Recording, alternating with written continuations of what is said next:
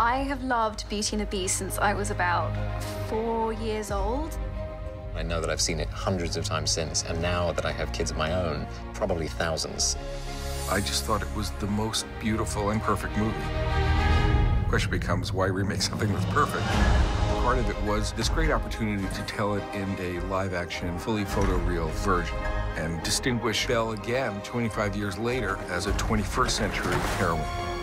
When you love something that much, you really want to do it justice. It was something that we all knew we had to live up to. Who's there? Come into the light. We have this extraordinary team who are legendary. They have given us the means that we needed to make it everything it could be. Hello. You can talk. It feels really good to be in this group of actors. It's an amazing cast. There's so many wonderful, iconic roles in this film. It was enormously exciting to see so many people concentrated on creating magic that will endure.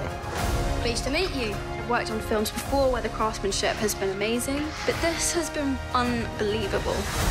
Show me the girl. The music is pretty special. What if she is the one who'll break the spell? These songs are very powerful. They arouse emotion, carry you along. Think of the one thing you've always wanted. There's something about this story and the score that draws everybody in. Find it in your mind's eye and feel it in your heart. It will remind you of all the beauty of the original. But also expand on it and give it more detail and more depth.